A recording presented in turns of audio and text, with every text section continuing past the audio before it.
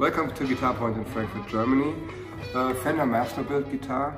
Um, this one was built by Kyle McMillin. um, it's inspired by a guitar um, that actually existed. There's a dealer in the United States who, um, who has a Fire Mist Gold over Lake Placid Blue finished 65 Strat and we thought that's so cool that we just wanted our our own version of it. And we had a couple but that's the first and only master built version that we have.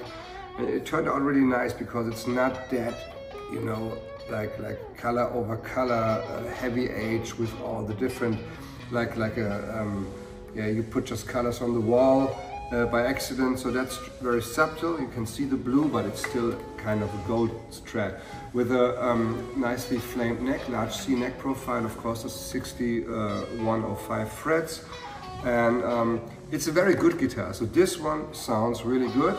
Um, well, you might want to hear it. No problem, our friend Carlos is playing it for you in the background already while we show you some close-ups of the guitar. Now I stop talking, shut up and enjoy.